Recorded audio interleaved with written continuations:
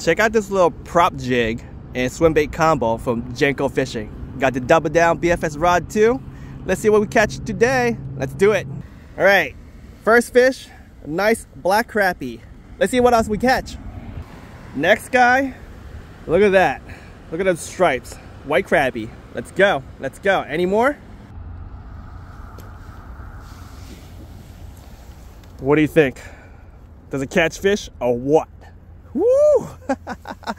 what a mondo, mondo bass. Let's go.